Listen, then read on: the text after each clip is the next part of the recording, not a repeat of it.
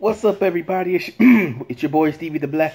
That's S T E V E the Black. I'm back, and I'm here to explain myself.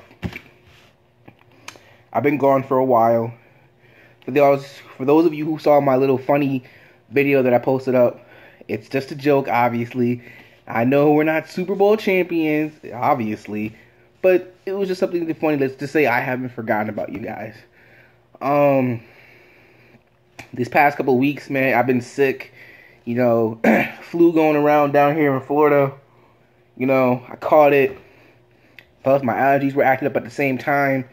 It's not a fun time. Not a very fun time. But I'm good now. I'm back now.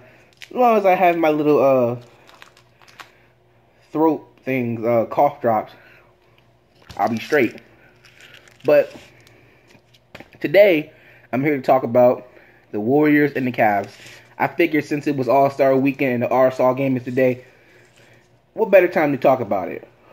So, LeBron was recently asked a question of, are, is he and Steph Curry rivals, or more importantly, are the Cavs and the Warriors defined a rivalry?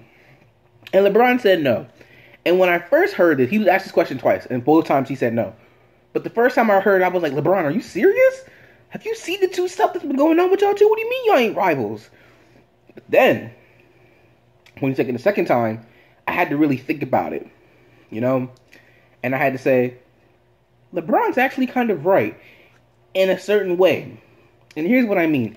He named a, a lot of great rivalries from the past, not just in basketball, but in college and stuff like that, NBA, NFL. And it's just like, I get where he's coming from. I mean, if you think about it, the Warriors and the Cavs have met in the finals two years back to back, and obviously are on the verge of doing it again. Each team has gotten someone to make their team better to face each other. The Cavs got Kyle Korver, or whatever his name is, great at three point shooting. Obviously, that's to compete with the Warriors. the, the uh, Warriors went and got Kevin Durant. Can't really compare those two because it's KD, you know.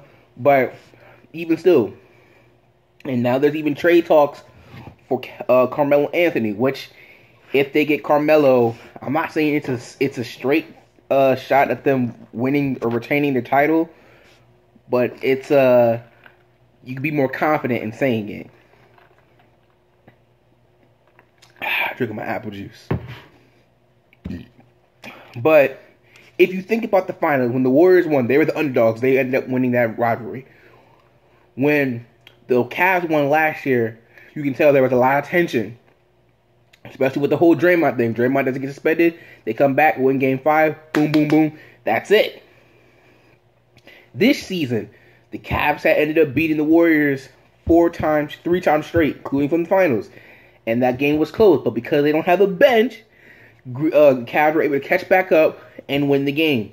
Obviously, you saw what transpired between the Cavs and the Warriors when they faced the second time at the Oracle. You knew the Cavs weren't going to. The Cavs knew.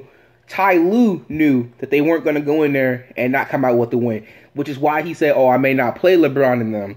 But then he ended up playing them. When you say that, when you say, "Oh, this guy might not play," it's going to be in his mind of, "Oh, I might not play," so there's no need to go all out. And it was a combination of that, and, and, and the Warriors needed confidence wise. Like they needed to go in there. Had they lost to them a fifth straight time, I think the confidence of man, not even Kevin Durant, is enough for us to win. So we all, but first, we all know the Cavs weren't trying in that game anyway. It was more for the Warriors' psyche, if you really get it. What I'm saying here. The point being, and plus the stuff with Draymond and and the Cavs. Here's the thing: they respect each other. They do. Do they like each other? No. And I heard that this year, if the Cavs and the Warriors meet in the finals again, it'll be the first time in NBA history that three the same two teams have met three years in a row, or three times in the finals. And and, and if that's not a rivalry, I don't know what is. I mean, it's, it's each team responds to a need to beat the other team. The Warriors go out and get KD. The the Cavs go out and get Kyle Korver. It's it's is it a rivalry? Not quite yet. Is it getting to that point? Absolutely. If the Warriors win this year's finals, it's a rivalry. If the Cavs win, it was, oh, maybe LeBron's not that good. Maybe LeBron's getting up there in age, basketball age, you know.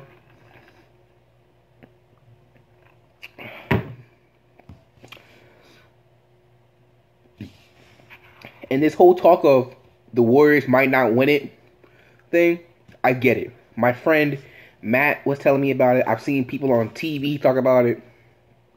Super teams need time to develop. They need more than just one season. They got to the finals, but because they didn't have that chemistry, because they weren't they didn't play long enough together. They don't always win their they don't always get it or cooperate together at the right time at the right moment. Case in point, LeBron, when he got his team to the finals with the big three, didn't go too well. So obviously you're thinking, why is that so difficult? It's because they're the Warriors. They're already been champions without Kevin Durant. So with Kevin Durant, you think they just be that much better. And they've already suffered nine losses this season, which is how many they lost last year. I knew going in that they weren't going to be 73 and 9. We all knew that. LeBron, LeBron, Michael Jordan wasn't 72 and 10 every single season. Nah, he was in the high 60s most of the time and that's what the Warriors will be. They'll probably be like 65, 67, somewhere around there. I think might even be might even break 70. Oh, no, they won't break 70. 65, 67, relatively easy. And if you think about it, who's in first place in both uh, in the conferences? Warriors and the Cavs. The Cavs this year they got some competition. I'd be shocked if LeBron don't make it to the finals, which I'm not saying he won't, because we all expect to see LeBron in the finals. But if some team manages to knock off the Cavaliers, I don't think they're going to be beating Golden State because you got KD, got Steph, got Clay, got Draymond.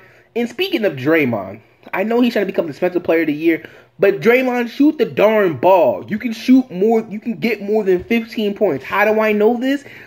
Game 7 of the NBA Finals last year. Tell me who had the hot hand. Who kept them in that game? Who was it? Was it Steph? Was it Clay? How about Iguodala? Was it uh uh was it Shaun Livingston? No. It was Draymond. Draymond was hot hand. Draymond was shooting them threes. Draymond was keeping them in that game. And had they won that game, who would have been the MVP? It would have been Draymond. So I'm saying all this because I we've seen Draymond with the potential to score more points. I know he's trying to be defensive player of the year, but Draymond points do help. Steph, yo, man, I know you got KD on your team, man. That's the second best player in the league, man, but you gotta step up. With you not being MVP candidate this year, a lot of eyes won't be on you. So if you make but, if you make it to the finals, they will be. You gotta show up in that finals, man. Clay, Clay, Clay be having on and off nights. I know that one night he dropped 60. But Clay, come on, man. Sometimes I'll be wondering about you too. And KD, I think Stephen A has said enough already about you. Can they win? Absolutely. Will they win? I think the I think the series might go to game seven. So we'll see. We'll definitely see. If they if the Warriors and the Cavs meet in the finals again, and the Warriors win, it's a rivalry. If the Cavs win, it's a rivalry because it'll be the first time that the same three team team same two teams met in the finals. This is becoming a rivalry. It's not a rivalry yet. So LeBron is right, but he's also wrong when he's saying, "Nah, we haven't played enough." Oh, y'all gonna play enough because y'all gonna meet in the finals. Y'all gonna meet in the finals. Uh, this has been the conclusion of this video. Expect some stuff this week, y'all. I'm back now, and I'm feeling much better. So I gotta make it for lost time somehow, right? So that has been the video for today. Um, expect a couple more Warriors videos. Expect a more couple uh of different videos this week. But until that time, if you're not down with that, I've just got two words for you. Peace out and let's go Dub Nation.